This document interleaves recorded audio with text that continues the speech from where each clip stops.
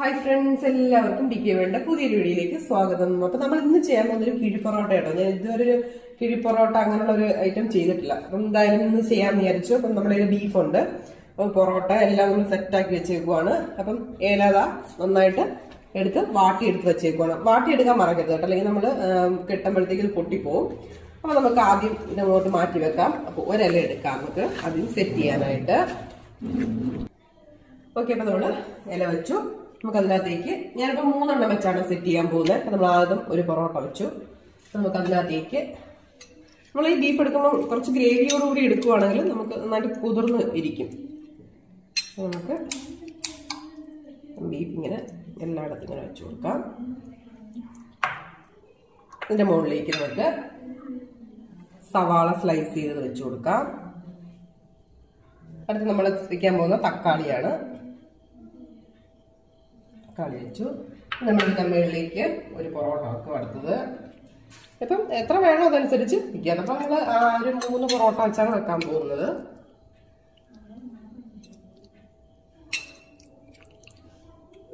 ഇതിന്റെ മേളിലും അതുപോലെ ഗ്രേവിയോടും കൂടി ഒഴിച്ചു കൊടുക്കാം ഇതിന്റെ മുകളിലേക്ക് നമ്മൾ അടുത്ത പൊറോട്ട വെച്ച് കൊടുക്കാം.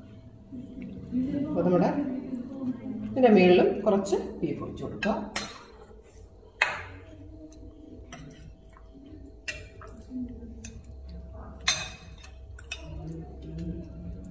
ഓക്കെ അപ്പോൾ നമ്മുടെ എല്ലാത്തിനും നമ്മൾ ബീഫ് വെച്ചു. കഴിഞ്ഞു. ഇനി നമ്മൾ എന്താ ചെയ്യാൻ പോകുന്നത് ഇതിന്റെ മേളിൽ കൂടെ കുറച്ച് സവാള ഇട്ട് കൊടുക്കാം. ഒരു തക്കാളി രണ്ട് തക്കാളി.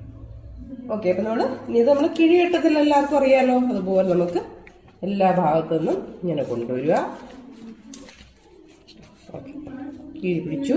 ഇനി നമ്മളൊരു വാഴവെള്ളി എടുത്ത് നമ്മൾ കെട്ടാൻ പോകും ഉണ്ടായിരുന്നു അപ്പോൾ നമുക്ക് വാഴവള്ളി വെച്ച് കെട്ടിക്കൊടുക്കാം.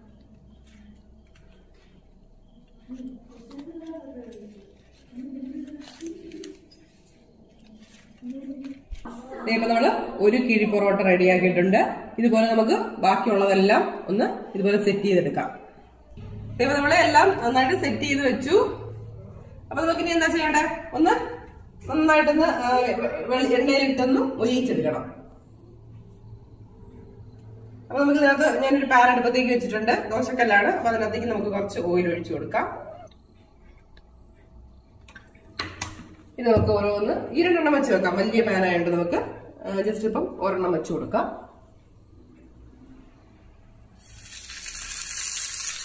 ഈ ഒരെണ്ണം കൂടെ ഇനി നന്നായിട്ട് ആ പൊറോട്ടയും ബീഫും എല്ലാം നന്നായിട്ട് ആവി കയറി. അതാണ് ഈ പൊറോട്ടയുടെ ടേസ്റ്റ് എന്ന് പറയുന്നത് അതാണ്. ആ ആവി കയറിയിട്ട് വരുമ്പോൾ ആ ഒരു മണവും ആണ് ശരിക്കും പറഞ്ഞാൽ ഇതിന്റെ ടേസ്റ്റ് നമുക്ക് കുറച്ചേരം വെയിറ്റ് ചെയ്ത് നന്നായിട്ട് മൊരിഞ്ഞ് വരണം. ഇതേപോലെ ഇവിടെ കിഴി പൊറോട്ട റെഡിയായി അതിപ്പം ആയിട്ടുണ്ടോ എന്ന് എങ്ങനെയാണെന്ന് അറിയുന്നത് വെച്ചാൽ ഇതിന്റെ അടിവശം കണ്ടോ? നന്നായിട്ട് നമ്മൾ ആ വാഴയിലേക്ക് നന്നായി ആ ഒരു മൊരിഞ്ഞ് വരുന്ന ഒരു പരുവം. അതാണ് നമ്മുടെ കിഴി പൊറോട്ട ആയി എന്ന് നമുക്ക് മനസ്സിലാവുന്നത്. ഓക്കെ ബാക്കിയുള്ളതെല്ലാം ഞങ്ങളൊന്ന് എടുത്തു വെക്കാം. അപ്പൊ നമ്മുടെ കിഴി പൊറോട്ട ആയിട്ടുണ്ട്. നമുക്കിതൊന്ന് തുറന്നു നോക്കിയാലോ?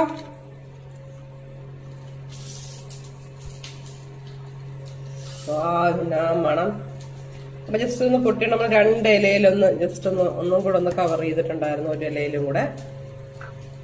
നമുക്കിതും കൂടെ ഒന്ന് തുറന്ന് നോക്കാം.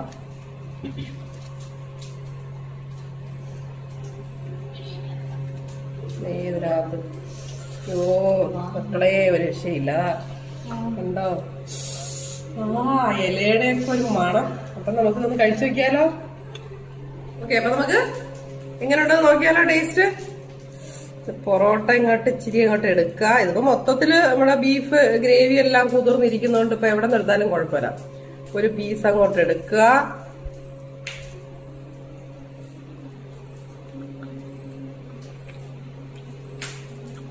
സിനിമയ്ക്കകത്ത് പറഞ്ഞ ചുറ്റുമുള്ളതൊന്നും കാണാൻ പോയ മക്കളെ.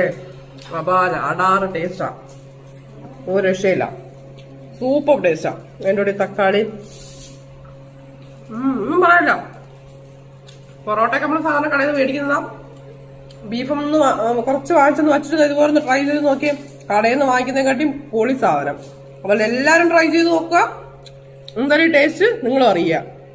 അതിനുശേഷം ഫീഡ്ബാക്ക് ഇടാൻ മറക്കരുത്. അടുത്തൊരു കിടിലൻ വീഡിയോ ആയിട്ട് നമുക്ക് വളരെ പെട്ടെന്ന് കാണാം. Keep watching thank you love you all